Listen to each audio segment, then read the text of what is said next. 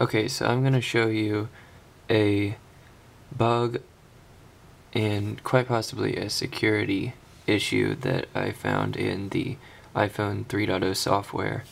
Um, it has to do with um, searching through your mail messages, but this this allows you to find messages that you think you have completely deleted from your iPod or iPhone. Um, I'm running an iPod Touch second generation with software 3.0 and to demonstrate I've sent myself an email to an account a POP account, a POP account. And so here's the email. I made the the subject line a BBCC so it'd be easier to search for. But what I'm going to do now is go ahead and delete it from the inbox and if we go back and delete it from the trash, it should be completely gone, right? Well, let's go back here, go back to the home screen, and if we search here,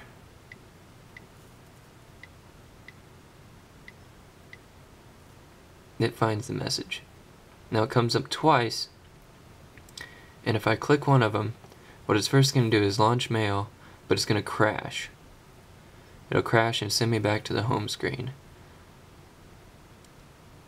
But if you go back, there's the crash, we go back and we tap it again, it's going to open the message. Now one of these is going to say the message cannot be displayed, blah blah blah, and it says you've got this message is only partially downloaded. If you click that, nothing's going to happen. You can notice we have um, message 1 of 0 which is obviously a mistake because it's not there. I click the back, there's nothing in the trash. Now if I go back and try the second one, first time I do it, it's going to crash after about 5 to 10 seconds.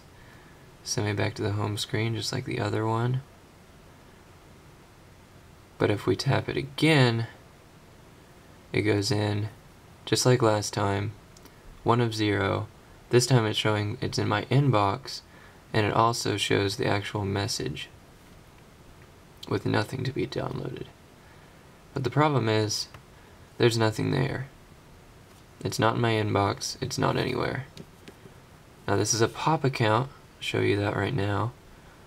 That one was Matt Embark. Go to there, go to Matt Embark and you can see that this is a pop account.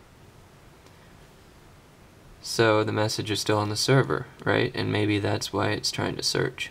Search, maybe it's reaching back at the server for some reason. But over on my Mac, you can see I've used the mail feature that shows all the messages on my server. There's the only one, the AABBCC one. Let's remove that from the server. Okay, so it's gone from the server. Go back here, and we'll try to search for it again. Clear it out.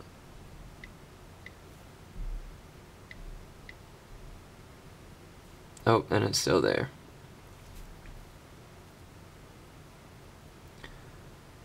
Since we did a new search, it's going to crash this time again. And then if we go back into it, it'll show me the message.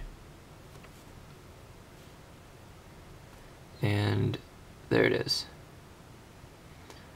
So obviously this could be a major security issue if you think you deleted something from your iPod but it's really not deleted. You can still search through messages that were deleted. And this isn't messages that are just recent. I've found some messages that are over three or four months old. Here's one I think I sent quite a few months ago crashed the first time. Go back, tap it again. You can see this one was sent in June. And obviously, as I showed you, there's nothing still on the server. So these messages are still on the iPod somewhere, even after you delete them, but you can't find them without searching for them. Like I said, this is a, a security issue, a bug, and hopefully hopefully Apple will fix it in some later releases.